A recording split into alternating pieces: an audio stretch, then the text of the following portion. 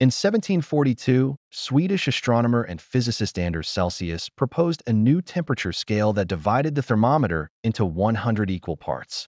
In his original version, the boiling point of water was set at 0 degrees and the freezing point at 100 degrees, the exact opposite of how the scale is used today.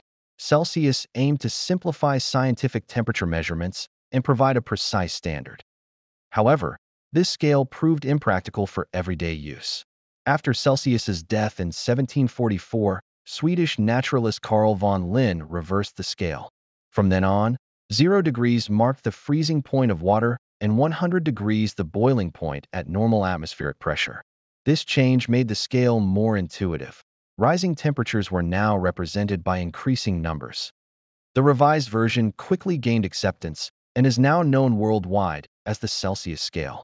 Alongside Fahrenheit and Kelvin, it is one of the most important units of temperature and is widely used in science, technology, and daily life.